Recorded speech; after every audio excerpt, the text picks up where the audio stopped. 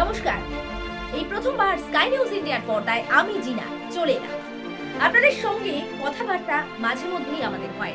কিন্তু সেক্ষেত্রে হয়তো প্রকাশ্যে আমাকে দেখা যায় না। আজ প্রকাশ্যে আমি জিনা এরাম একটি বিশেষ বিষয় নিয়ে আলোচনা করবে তার হলে হঠাৎ করে কেনই বা আসতে যাব বলুন।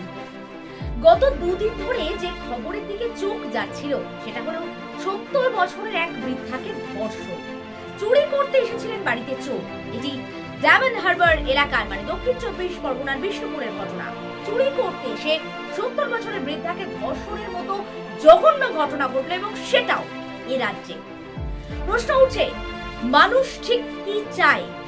জানা যাচ্ছে, বৃদ্ধাকে ধর্ষণ করার পর তার সেলাই মেশিনটি নিয়ে চোর সেখান থেকে চলে যায়। একজন চোর বা একাধিক চোর এই নিয়ে অনেক দ্বিমত রয়েছে, কথাবার্তা রয়েছে। কিন্তু প্রশ্ন একটাই জায়গায় গিয়ে দাঁড়িয়েছে দু বাইশের এই মুহূর্তে আমরা ঠিক কোথায় দাঁড়িয়ে রয়েছি? কেন বারবার করে ধর্ষণের ঘটনা শিরোনামে আসছে? এবং সেটা নিয়ে আলোচনা করতে হচ্ছে আমাদেরকে। কিছুদিন আগে একটা পরিসংখ্যান আপনাদের সাথে একটুখানি শেয়ার করতে চাইব। যে পরিসংখ্যানে বলা হচ্ছে যে কোনো যৌনতা কেন্দ্রিক খবরে নাকি ভিউয়ার্স বেশি হয়।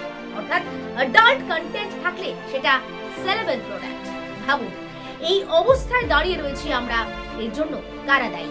কাকে দায়ী করবেন আপনি? সে প্রশ্নের উত্তর খুঁজবো আমরা।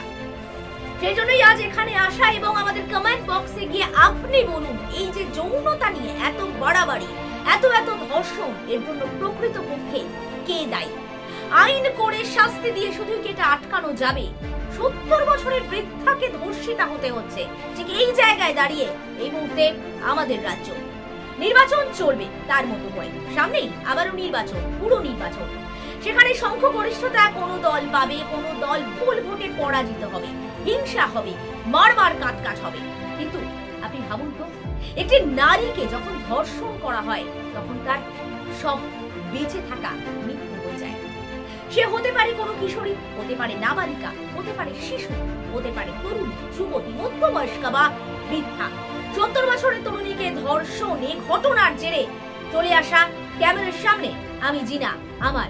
এবং বেশ কিছুদিন আগে, বা বলতে পারি কয়েক বছর আগে, বাহাত্তর বছরের সন্ন্যাসিনীকে ধর্ষণের ঘটনার কথা মনে পড়ে যাচ্ছে। বুঝতে পারছেন? এই মুহূর্তে কোথায় দাঁড়িয়ে আছি আমরা? কমেন্ট বক্সে আপনার মতামত জানান যে এই জিনিস যে বাড়বাড়ন্ত এই যে ধর্ষণের বাড়বাড়ন্ত এই যে যৌন চাহিদার বাড়বাড়ন্ত একে আটকাবার উপায় ঠিক কোথায়?